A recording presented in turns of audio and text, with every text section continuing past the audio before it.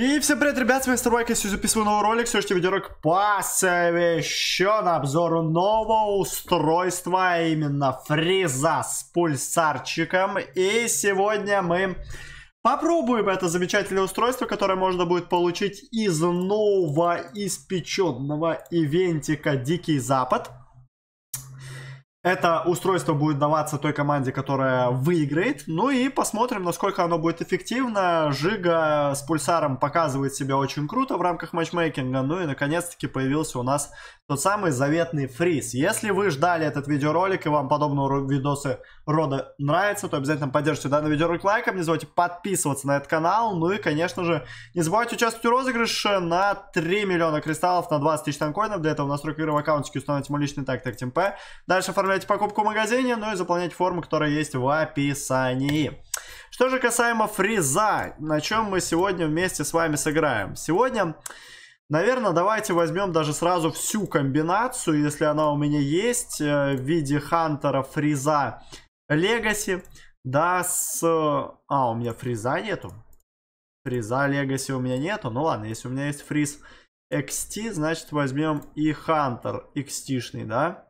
Есть у меня Хантер XT-шный, вот такую комбинацию тогда вкуснейшую возьмем.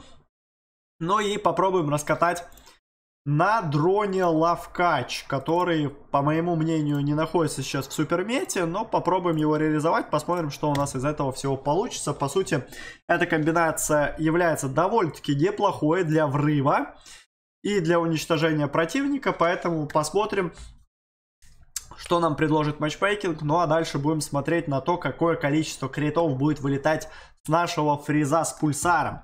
Фриз с пульсаром это возможность э, нанести все статус-эффекты, кроме поджога по оппоненту, да, то есть у вас есть возможность и заморозку дать, и все э, статус-эффекты критом дать, поэтому это должно работать мега жестко, ну и меня запикивает на шикарнейшую карту Песочницу в режиме захвата флага. Ну и теперь только остается смотреть на количество критов. Пока что ни одного крита за полтора баллона мой фриз не выдает. И это уже, ну, странновато, если честно. Странновато. А где криты?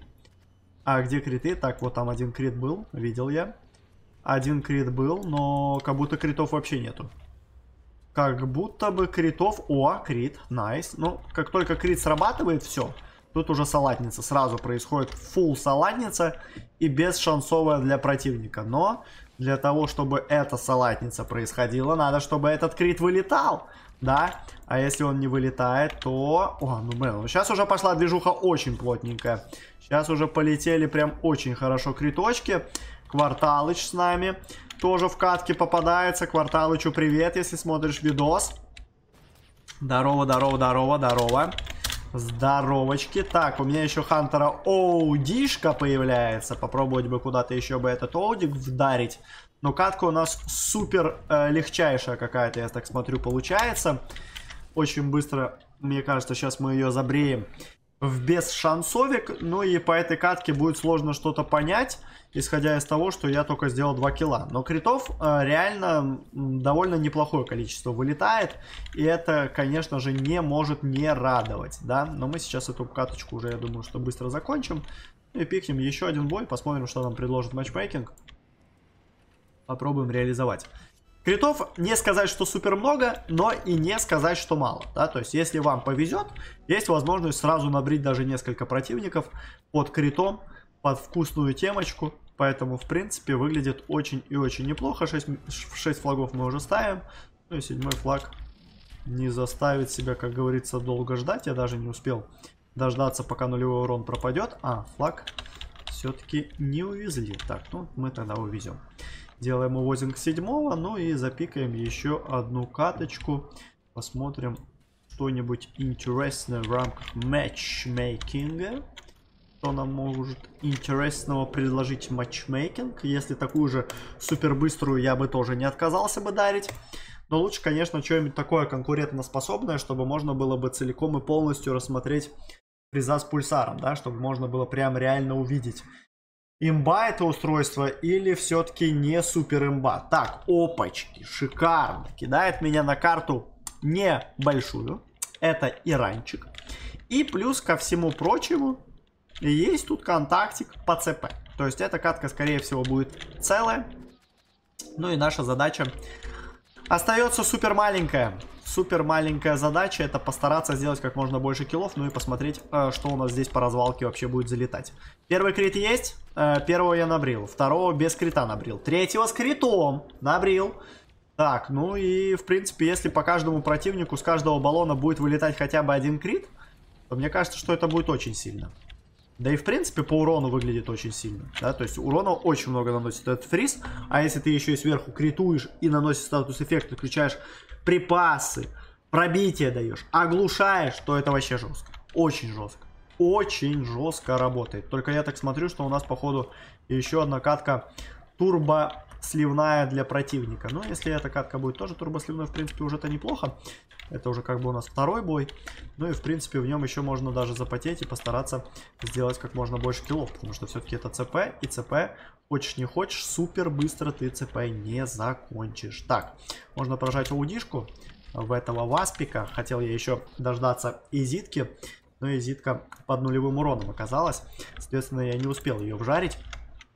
6 6 киллов у нас уже имеется. Так, 110 очков. Ну, в принципе, рабочие. Рабочие. Рабочие. Я думаю, что один в один э, этот фриз будет переигрывать все. Он будет просто все переигрывать. Один в один, даже против резиста, я думаю, что будет очень легко играть. Да, потому что ты наносишь э, статус эффект, и все.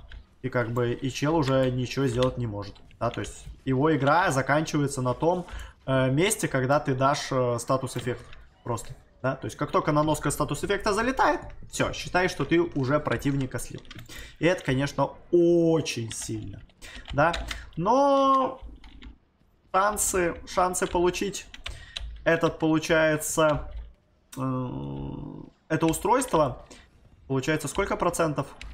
Даже не 50, ну, грубо говоря, оно будет стоить для вас полторы тысячи танкоинов, да, то есть если вы просто купите э, пачку и вам не повезет, э, то вы смените фракцию и, соответственно, за две сменки получите это замечательное устройство. Такое устройство за полторы тысячи либо за 700 танкоинов, ну, я считаю, что это очень сильно.